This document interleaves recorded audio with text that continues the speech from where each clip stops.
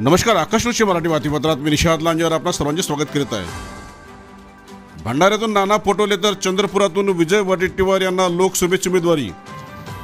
लोकसभेच्या पूर्व विदर्भातील पाचपैकी तीन लोकसभा मतदारसंघाच्या निवडणुकीसाठी काँग्रेस पक्षाकडून उमेदवार निश्चित केले असून यात भंडारा गोंदिया लोकसभा मतदारसंघातून खुद्द काँग्रेस प्रदेशाध्यक्ष नाना पटोले तर चंद्रपूर मतदारसंघातून विरोधी पक्षनेते विजय वडेट्टीवार यांच्या नावाचा समावेश असल्याची विश्वसनीय माहिती प्राप्त झाली आहे. गडचिरोली मतदारसंघातून नामदेव किरसान यांना उमेदवारी निश्चित झाल्याची माहिती सूत्राकडून मिळाली आहे. पूर्व विदर्भातील नागपूर रामटेक भंडारा गोंदिया गडचिरोली व चंद्रपूर या पाच लोकसभा मतदारसंघाची पहिल्या टप्प्यात म्हणजे एकोणीस एप्रिल रोजी निवडणूक होत असून त्यासाठी उमेदवारी अर्ज भरणे सुरू झाले आहे. मात्र काँग्रेस तसेच भाजपाकडून उमेदवारांच्या नावाची घोषणा न झाल्याने संभ्रम निर्माण झाला होता.